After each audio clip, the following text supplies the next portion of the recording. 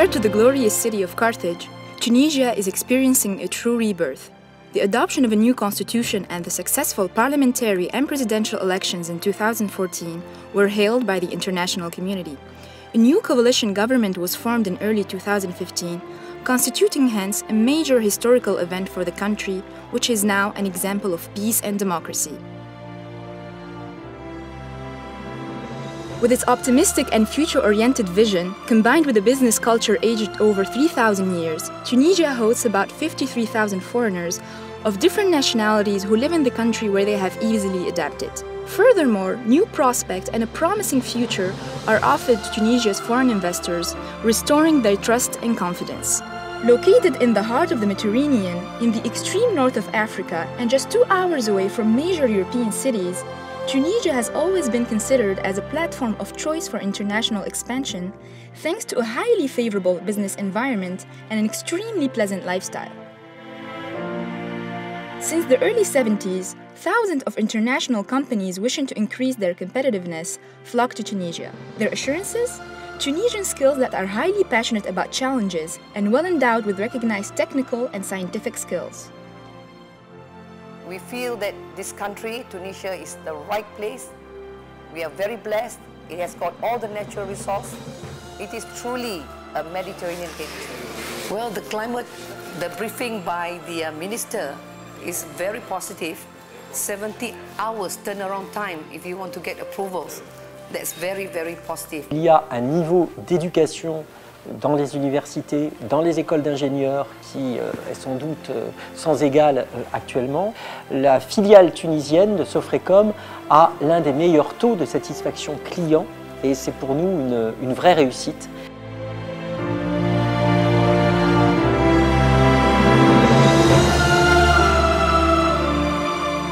Tunisia today, which experts readily refer to as the smart side of the Mediterranean, relies heavily on its historical assets to lure the most demanding investors. These assets have already attracted over 3,000 international firms and make Tunisia the first destination for the location of foreign firms south of the Mediterranean. Thanks to a varied and reliable infrastructure, Tunisia monitored in real time the developments recorded by the world industry. Today, the fields of textile and clothing, mechanics, electrics, aeronautics rank the country as the first southern Mediterranean industrial exporter to the European Union. From upscale clothing to the finest mechanical parts, companies operating in Tunisia respond just in time to orders from Europe or even from the US market. With its tradition in conventional industrial niches, Tunisia advances confidently towards the assimilation of new sectors that make human intelligence a growth engine. Offshoring and research and development are already attracting the most prestigious names in the sector that Tunisia seeks to consolidate and promote, especially in the field of ICT, to make it a pillar of its socio-economic development.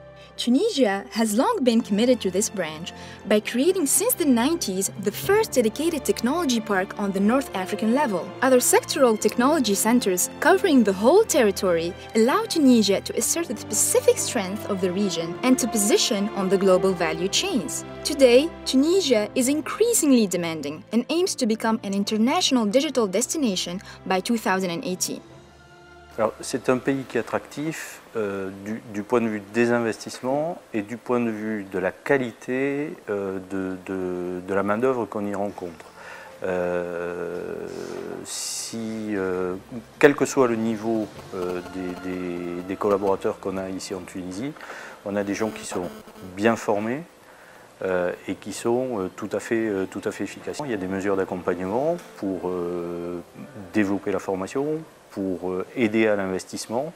Et tout ça, ça fait un ensemble de, de, de, dispositifs qui sont tout à fait favorables à l'implantation de nouvelles entreprises ici en Tunisie. رسالتنا لأي مستثمر أجنبي يرغب في الاستثمار في تونس بعد ما رأيناه وواكبناه من انفتاح شديد موجود لدى الحكومة التونسية في الوقت الحالي خبرة بالمشاكل اللي موجودة وبالتحديات اللي أمامهم ورؤية واضحة للخطة الإصلاحية لجذب المستثمر العوائد الاستثمارية اللي قد يحققها أي مستثمر من الاستثمار في تونس عوائد جيدة جدا جدا. بنية تحتية آه، عندها استعداد لقبول مستثمرين في مجالات مختلفة آه، قوة عاملة على مستوى جيد جدا من التعليم ومن الإمكانيات الجيدة التي ممكن توفر لأي مستثمر آه، أرضية صلبة يبدأ استثماراته عليها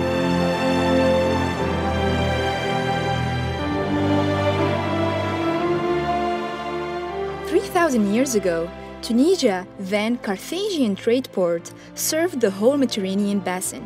Today, Tunisian ports and airports serve the whole world and allow international firms to settle in Tunisia, remaining connected with clients wherever they are located.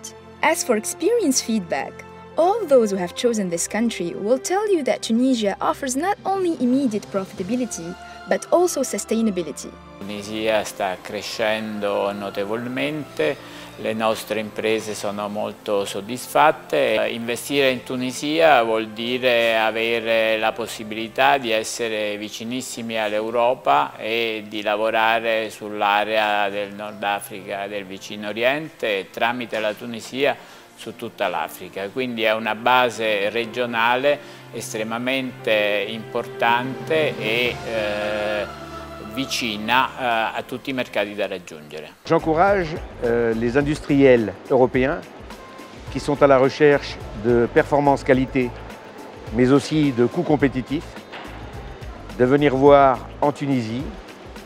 Je suis convaincu qu'ils trouveront ici, dans ce pays, tout ce qu'ils cherchent.